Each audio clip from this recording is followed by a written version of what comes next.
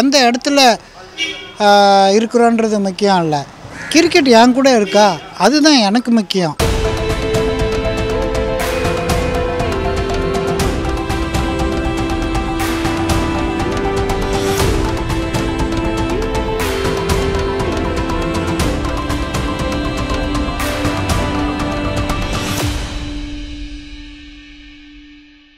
ஏற்கனவே நான் சொன்ன மாதிரி முதல்ல மன ரீதியாக அவங்கள தயார் பண்ணுவேன்.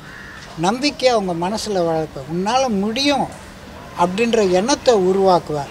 அந்த எண்ணத்தை உருவாக்கும் போது தான் அவங்க வந்து நம்ம நெக்ஸ்ட்டு அடுத்த ஸ்டேஜுக்கு போகலாம் அடுத்த ஸ்டேஜுக்கு போகலான்னு அவங்க ஸ்கில்ஸ் அண்ட் டெக்னிக்ஸு இன்னும் ம- மேற்கொண்டு மே மெருகேற்ற முடியும். புரியுதுங்களா? ஃபஸ்ட்டு எனக்கு தேவை நான் கற்றுக் கொடுக்கறது ஒழுக்கம்தான். ஒழுக்கத்துக்கு அப்புறம் என்னோட டிஃப்ரெண்ட் வே ஆஃப் கோச்சிங் நிறைய ரிசர்ச் பண்ணியிருக்கேன் ஒரு மன ரீதியாக இப்போ டெண்டுல்கர் மாதிரி ஆடுன்ட்டு லாரா கிட்ட சொன்னால் அவரால் ஆட முடியாது. தோனி மாதிரி ஆடுன்னு கோலிக்கிட்ட ஒவ்வொருத்தர்கிட்டையும் நேச்சுரல் எபிலிட்டி இருக்கும். அந்த நேச்சுரல் எபிலிட்டியை நான் ஸ்டூடெண்ட்டுக்கிட்ட இருந்து கண்டுபிடிப்பேன்.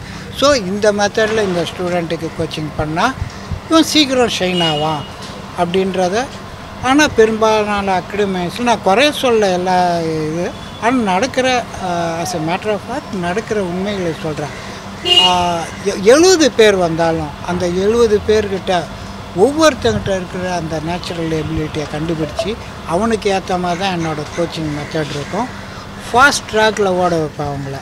சீக்கிரமாகவே மற்ற இது வரைக்கும் நான் அகாடமின்ட்டு போய் தனிப்பட்ட முறையில் நான் கோச்சிங் பண்ணது கிடையாது.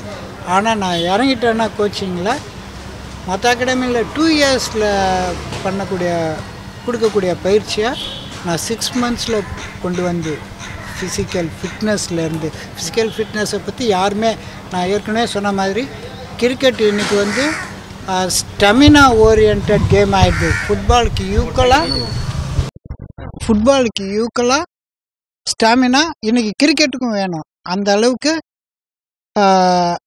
ஃபிட்னஸ்லேயும் நான் கவனம் செலுத்துவேன் ஸ்டூடெண்ட் கிட்ட இருந்து. எனக்கு அதாவது பேசலாம் நான் அப்படி பண்ணுவேன் இப்படி பண்ணுவேன்ட்டு. நீங்கள் சொன்னதுனால தான் இதெல்லாம் பேசுகிறேன் நான் செஞ்சு காமிக்க விரும்புகிறேன் எல்லா அகாடமிஸ்க்கும் நான் சொல்லக்கூடியது ஒன்றே ஒன்று தான் முதல்ல ஸ்டூடெண்ட்ஸ்க்கு ஒழுக்கத்தை போதிங்க. ஒழுக்கத்தை போதிச்சு அப்புறம் நீங்கள் டெக்னிக்ஸை சொல்லிக் கொடுங்க. ஒழுக்கம் இருந்தால் தான் அந்த அகாடமியும் டெவலப் ஆகும்.